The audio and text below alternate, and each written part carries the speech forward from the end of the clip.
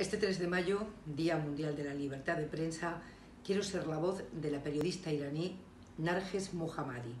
Su voz no puede escucharse porque está en la cárcel desde hace cinco años, por informar, por hacer su trabajo.